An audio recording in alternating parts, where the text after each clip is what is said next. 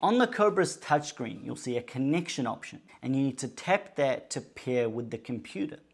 And that's all there is to it. That's the whole setup of this device.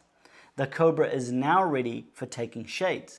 The next thing you need to do is just create a patient file in the software, position the device against the tooth, and press the button to capture the shade. So how much does all of this cost? Well, the Borea Cobra is 2,900 Euro or USD.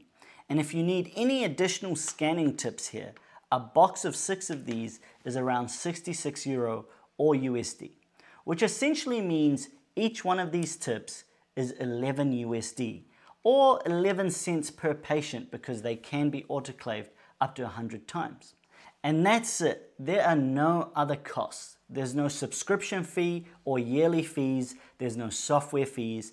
And now you can start taking shades using the Borea Cobra.